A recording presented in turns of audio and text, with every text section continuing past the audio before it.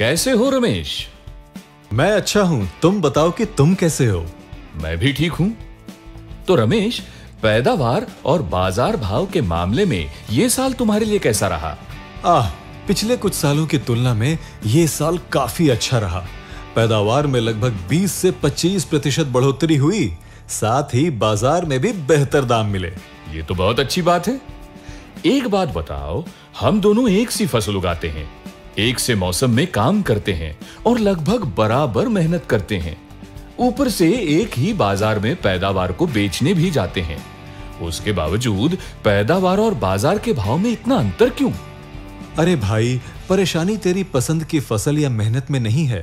फिर तुम्हारे हिसाब से परेशानी क्या है? हम हमेशा एक ऐसे समाधान की तलाश में रहते हैं जो हमें पैदावार बढ़ाने में मदद कर सके। और इस चक्कर में हम सिंथेटिक और रासायनिक कृषि प्रोडक्ट्स का सहारा ले लेते हैं।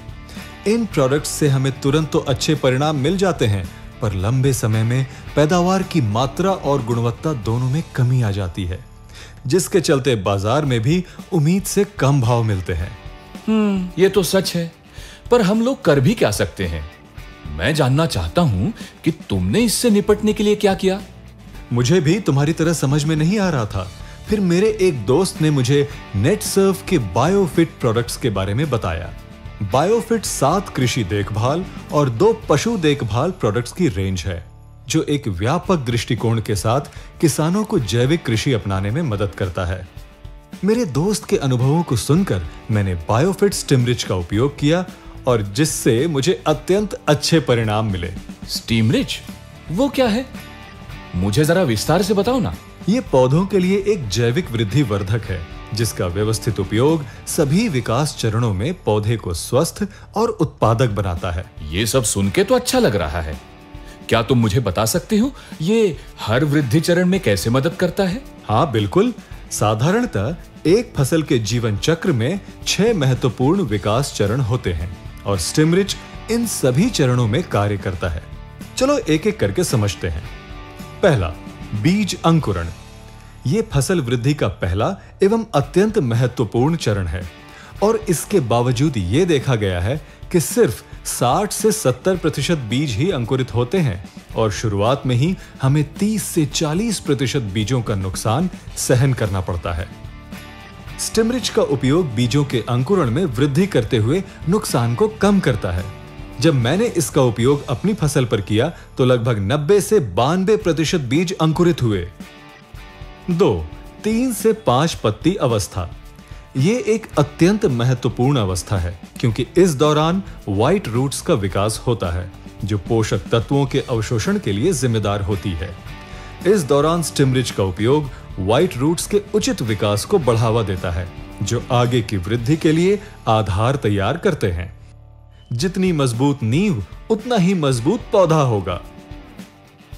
तीसरा, वनस्पतिक विकास। चूँकि अब जड़ों का विकास हो गया है तो वो वनस्पति के विकास में मदद करती है। इस चरण में स्टिमरिच का इस्तेमाल मज़बूत तने, अधिक शाखाओं के विकास को बढ़ावा देता है।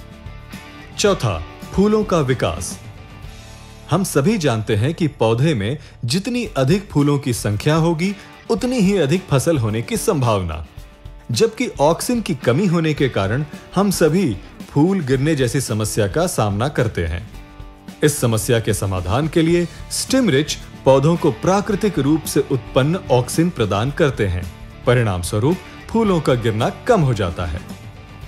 पांचवा, फल एवं पुष्प गुच्छ गठना। स्टिमरिच पुष्प गुच्छ की आकार को बनने एवं फलों के व्यवस्थित विकास को बढ़ावा देता है। छठा, अनाज भरने एवं फलों का बनना। यह फ़सल के जीवन चक्र का अंतिम चरण है और स्टिमरिच कार्बोहाइड्रेट को तने से ऊपर तक पहुँचाने में मदद करता है। परिणाम स्वरूप पैदावार रंग एवं आकार में अच्छी होती है, साथ ही ताजी भी दिखती है। इस प्रकार से स्टिमरिच के इस्तेमाल से उपज में लगभग 20 से 25 प्रतिशत वृद्धि होती है। साथ ही बीजों में लगने वाली लागत एवं इंटरकल्चर कॉस्ट में भी कमी आती है। एक बात बताओ बाज़ार में ऐसे वादे करने वाले बहुत से प्रोडक्ट्स मौजूद है। तो तुम्हें एक नया प्रोडक्ट इस्तेमाल करते समय डर नहीं लगा? इसलिए मैंने कंपनी और प्रोडक्ट्स के बारे में पूरी तरह से जानने का निर्णय लिया और मुझे पता चला कि भारत में 10 लाख से भी अधिक किसान बायोफिट प्रोडक्ट्स का इस्तेमाल कर रहे हैं। साथ ही स्टिमरिच सभी आवश्यक संस्थाओं द्वारा प्रमाणित है, जैसे कि इसका उत्पादन डीएसआईआर द्वारा प्रमाणित लैब्स में होता है। साथ ही एपीईडीए द्वारा यह भी प्रमाणित है कि इसका कोई रासायनिक अवशिष्ट नहीं है। तुमने सब कुछ बहुत अच्छे से समझाया है। एक बात बताओ, इसका इस्तेमाल किन किन फ़सलों के साथ किया जा सकता है? सबसे अच्छी बात यह है कि ये सभी प्रकार की फ़सलों के लिए अनुकूल है जैसे कि फल सब्ज़ियाँ अनाज दालों आदि। ये सब तो मुझे समझ में आ गया पर तुमको बाज़ार में भाव क्यों बेहतर मिलते हैं?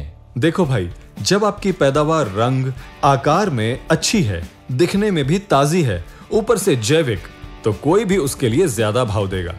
सौ बात की एक बात यह है कि हम सब स्वस्थ और पौष्टिक खाना खाना चाहते हैं। मैं इस प्रोडक्ट को पक्का उपयोग करूँगा। अच्छा इसका इस्तेमाल कैसा करना है? बहुत आसान है। एक लीटर पानी में एक मिलीलीटर स्टिमरिच मिलाकर हर वृद्धि चरण में स्प्रे करना है। एक आखिरी सवाल। क्या इसका उपयोग करते समय किसी खास बात का ख्याल रखना है? अच्छा हुआ तुमने मुझे याद दिलाया। बेहतर परिणाम के लिए इन बातों का ध्यान ज़रूर दें। स्टिमरिच के उपयोग से पहले पंप को पूरी तरह से साफ़ करें। उसमें किसी भी प्रकार के सिंथेटिक या रासायनिक अवशेष नहीं होने चाहिए। स्टिमरिच को किसी भी सिंथेटिक प्रोडक्ट के साथ न मिलाएँ। पूर्णतः जैविक होने के नाते ये उनके साथ अनुकूल नहीं है।